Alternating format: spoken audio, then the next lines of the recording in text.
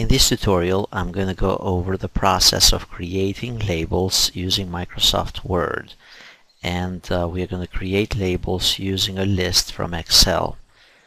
So let's assume that in Excel we have a file very similar to this. We have a file on the first row with the first name of the customer, last name, telephone number, street address, city, etc. And we have a lot of customers.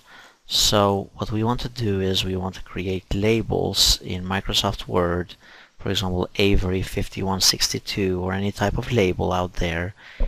So the process to do that is uh, basically we need to have the Excel file with the names and then we need to have the word processor, in this case Microsoft Word 2010. The process is the same for Office 2007 as well. So what we need to do is uh, go under mailings and I always recommend that we do the mail merge by using the step-by-step -step mail merge wizard. So we'll click on step-by-step -step mail merge wizard and then go under labels. Once you're under labels you'll click on next here on the bottom right and basically just follow these steps one after the other this wizard.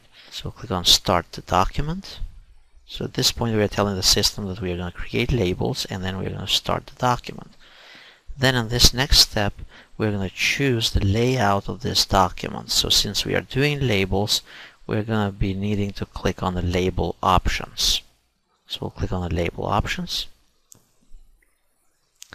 and then we are going to switch from Microsoft here the label vendor to the vendor of our label. So we, for example, we have Avery US letter, and this information you find it from the package of labels that you buy from the store.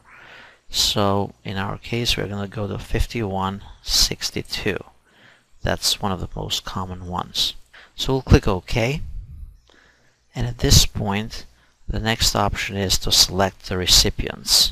So basically we just told the system uh, the previous step that the type of labels that we're going to use it's going to be the Avery 162. Now we click on select recipients and then we're going to choose an existing list. You can also use Outlook contacts or you can create a new list.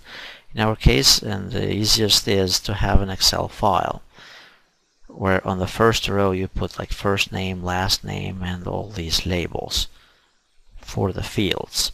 So now we on browse to find the list of names and we're going to go under documents and here we have customer list.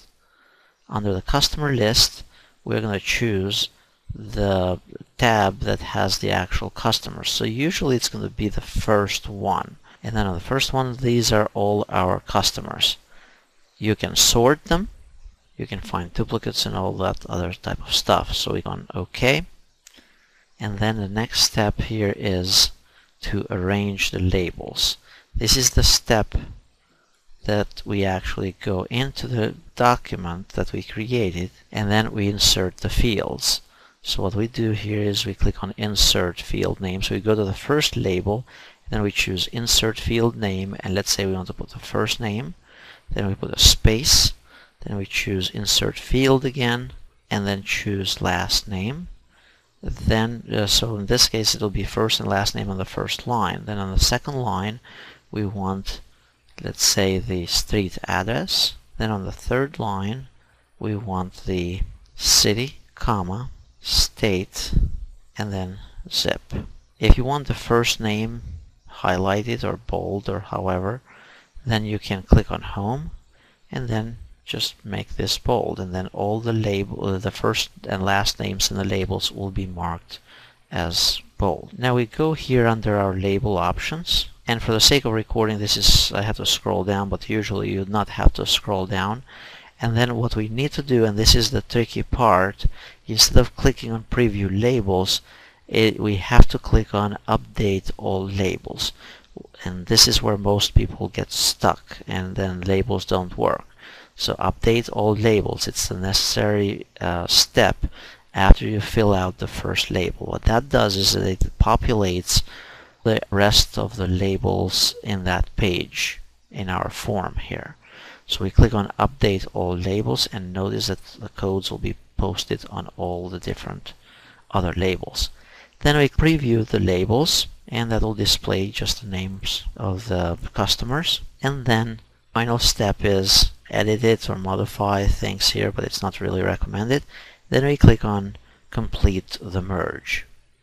This is the step that is going to link the labels that we created or the form of the labels that we created with that Excel file or the data. Now you could either print and then it will print on the printer with your labels or I would choose edit individual labels. In this case you get to kind of preview the labels first before you actually waste the paper. So we edit individual labels, okay, and notice that our labels have been created. And all we have to do is put a stack of them in the printer and print them out. So that's it. The, this is how you create labels.